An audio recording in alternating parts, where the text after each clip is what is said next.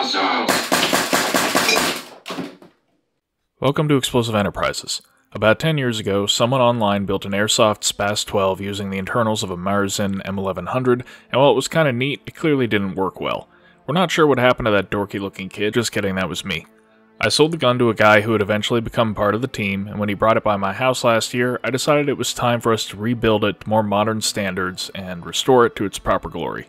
I mean, everyone knows the SPAS 12. It's an iconic fixture of movies and video games thanks to its aggressive appearance, the stylish overfolder stock, which means that airsofters mistake literally any shotgun with an overfolder for a SPAS 12, and the hybrid semi-auto and pump operation intended to allow optimal functionality with both buckshot and less lethal ammunition.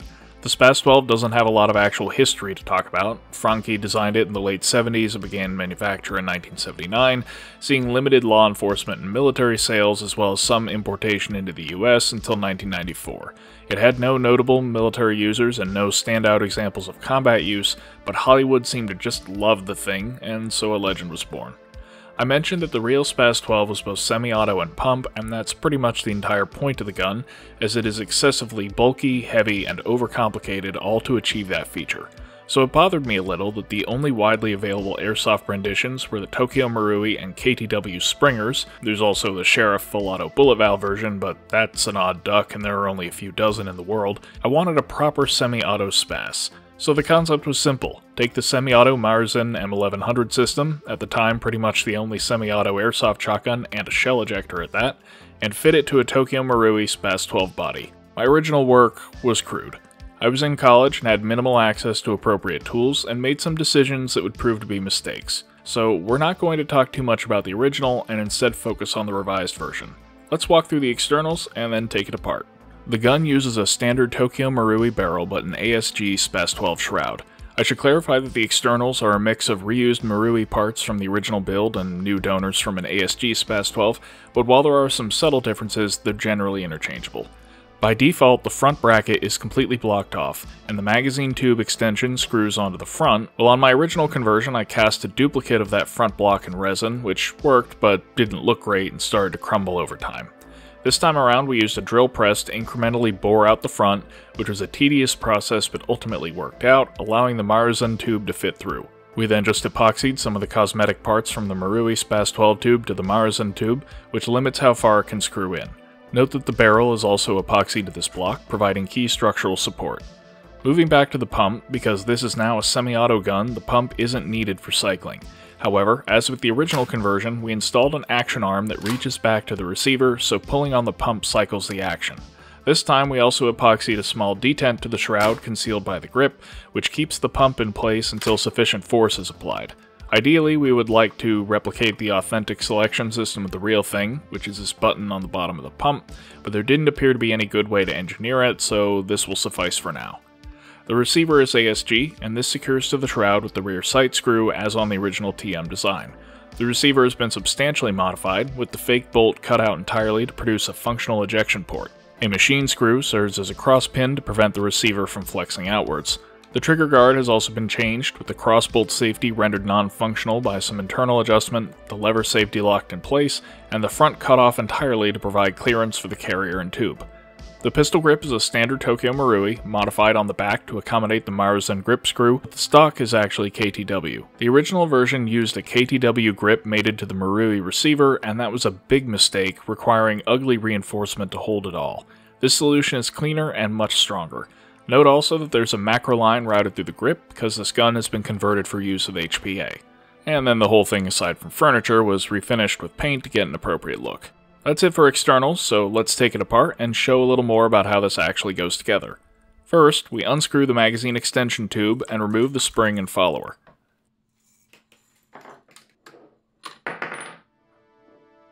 Next, we unscrew the front securing screw on the shroud and remove the barrel and front bracket.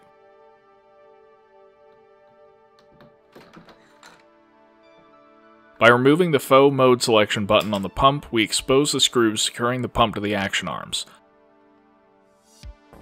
Once those are removed, the pump can be pulled off the shroud, which reveals the detent mentioned earlier, which keeps the pump in place until sufficient pressure is applied. Now we move to the back of the gun. Taking out the grip screw and removing the HPA fitting allows the grip to come off the back.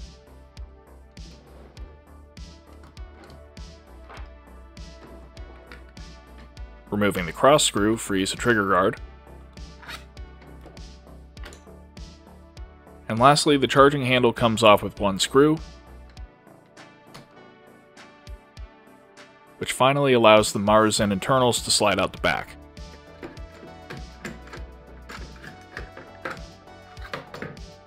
So internally, this is a Maruzen M1100 system that's been converted for HPA, and the extractor has been drilled out and replaced with a screw cut to shape, but otherwise the internal workings of the gun are unchanged. Some modifications have been made to interface with the SPAS-12 parts, though. The SPAS-12 trigger has been pinned and epoxied in front of the actual trigger so that it can clear the rear end of the trigger guard when assembled and a simple ABS rectangle has been epoxied to the internal gas block with a corresponding piece on the trigger guard, and this is what prevents the trigger guard from sliding forwards. So essentially, the trigger guard is held inside the receiver by the cross screw, kept from moving forwards by these blocks, and kept from moving backwards by the grip. Speaking of the grip, this has been internally routed for the HPA line and cleared as well to accommodate the Maruzen grip screw, which threads in the back. This secures the grip to the Maruzen internals. Then at the front, the magazine tube extension prevents the Maruzen internals from coming out the back, and the barrel indexes to the internals via two small tabs. All in all, the Maruzen internals are being pulled forwards by the magazine tube while also pulled backwards by the grip screw and then locked in place by the crosspin, and that keeps everything nicely solid. The only other thing to talk about internally is the pump mechanism, and that's just a simple linkage which is kept aligned by the pump grip. When the pump is actuated, the linkage pushes on the faux bolt of the Maruzen internals to cycle the gun.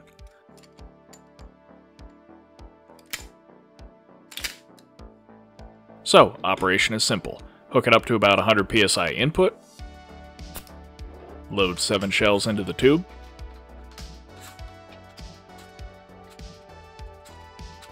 manually cycle it with either the pump or the charging handle to load the first, load one more shell for a total of 8, and then it fires as quickly as the trigger is pulled. The Maruzen M1100 does not have any kind of cutoff to prevent firing when no shell is loaded, so avoiding dry fire requires keeping track of ammo and reloading whenever possible. This does make it possible to cheat by simply dry firing when empty to load a new round, but come on, what's the fun in that? Anyways, ergonomically, it's not awful. With the rebuilt body, it's considerably more stable and durable than the previous incarnation, so it can be safely manipulated one-handed, even with the stock folded. It also helps that this is notably lighter than a real SPAS 12 at just 6.5 pounds unloaded, which is about two thirds that of the real thing. With the stock unfolded, the center of balance is right at the front of the receiver, making it pretty comfortable to swing around despite its size, and while it is quite a long gun, the folding stock produces a shorter length of pull than most combat shotguns, and in fact it is identical to the ubiquitous M16A1 length, or M4 clicked in one notch, most commonly used on modern rifles. That helps a lot in CQB, as do the simple irons. The front sight is a tall blade, and the rear sight has a small notch at the bottom intended for slugs, while the wider aperture above it provides a slightly elevated, quickly acquired sight picture for shot. With the spread on the Maruzen system, the notch isn't particularly useful, but the wide aperture makes the front sight easy to pick up even in low light and genuinely works for holding on corners. The trigger is unmodified from the stock M1100. It presses directly on the gas release valve, but uses a ball bearing detent to click between two positions. There's no take up whatsoever, it just clicks back when enough force is applied and then clicks forwards when released. It's not a good trigger, but it's easy to double tap when needed. This combination of good handling, short length to pull, usable sights, and quick trigger makes for a pretty capable CQB blaster. And then that brings us to actual firing performance. Each shell holds up to 9 BBs, and the gun fires all of them at once through a fixed hop-up. What's interesting about this system is that the muzzle velocity doesn't change significantly with BB count, staying under 1 joule regardless of how many loaded or what weight, so we don't have to worry about accidentally loading just one BB and sending some poor rental to the Shadow Realm. Also interesting is that the spread varies depending on the BB count. With the full 9 BBs, it's a video game-like room-clearing cone of death, but with 3 to 5 BBs, it puts them all close to point of aim, albeit with inconsistent hop. This just isn't really a good gun for outdoor use. And yes, this is a shell ejector, and yes, it does require policing shells. We've noticed that for some reason airsofters hyperfixate on this detail, but it's really not a big deal. A shell catcher works, but in a CQB environment, we usually just let shells fall and then pick them up when dead or take 2 minutes at the end of the round.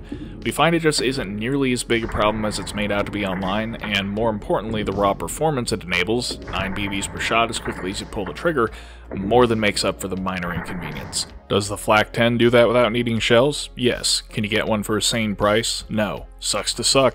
Now what is a legitimate problem is that the Maruzen M1100 is a fickle platform that requires a lot of tuning and attention to make it reliable. Even a change as small as increasing or decreasing the input pressure can cause it to fail to eject reliably, and inevitably it will stop feeding from the magazine tube due to peening of the shell latches, requiring periodic full disassembly to reshape them. And that's on top of the extractor replacement, which is necessary sooner or later on all these guns. In fact, it actually took longer to get the M1100 internals to run reliably than it took to convert the SPAS-12 externals to fit. Frankly, this was a fun project, but I'm burnt out on Maruzens. I still love the SPAS-12, but if I ever want to create another gas version, I'll probably build it around a different base gun. Regardless, after much blood, sweat, and tears, this gun does work. It's effective at our usual CQB arenas and tremendously fun to use. We hope you enjoyed this look at one of our favorite pieces of custom work, and as always, thank you for watching.